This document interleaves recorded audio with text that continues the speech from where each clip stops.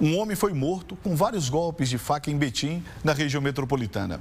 Um suspeito que foi visto com a vítima num bar foi preso em flagrante pela PM. Tela cheia, vamos lá. Este aí, conduzido até o batalhão da PM em Betim, é suspeito de matar um homem com golpes de faca. O crime só foi descoberto depois que vizinhos chamaram o SAMU. A gente recebeu essa informação né, via 190 que a equipe do SAMU né, já estaria no local, né, onde depararam com a vítima né, já caída ao solo, sinais de ferimento no, no tórax, né?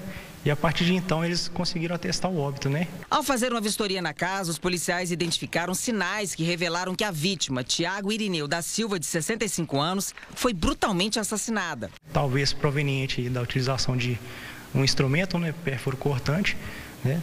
É, no local a gente conseguiu localizar até uma faca é, quebrada, né, que possivelmente pode, pode ter sido utilizada para consumar o crime. A faca com o cabo quebrado tinha vestígios de sangue e estava na pia da cozinha.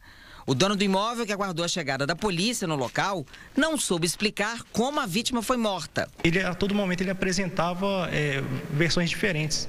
Então, a cada pergunta que a gente fazia, né, é, com relação ao, ao autor, ele sempre apresentava uma versão diferente dos fatos, o que chamou a nossa atenção. O que ele contou para você assim, nessas versões que ele deu? Bom, é, ele sempre colocava né, a culpa em terceiros, né, mas nunca apresentava esses terceiros que ele relatava. Né. Apesar de negar o crime, a Polícia Militar conseguiu informações que reforçam a participação do suspeito no homicídio. É que uma testemunha contou para os militares que seis horas antes do fato, vítima e autor foram vistos bebendo em um bar. Na sequência, os dois foram embora juntos para a casa do suspeito os elementos colhidos né, durante as diligências. É, a gente ouviu algumas testemunhas que não quiseram se identificar né, por medo de represália.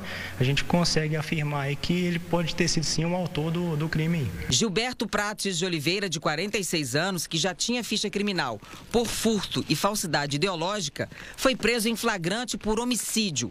Mas o que teria levado o homem a cometer um crime de maneira tão cruel ainda é um mistério. Ingeriam bebida alcoólica, há relatos também que o autor fazia uso de drogas dentro dessa residência, o que pode ter sido motivado né, ao crime do homicídio.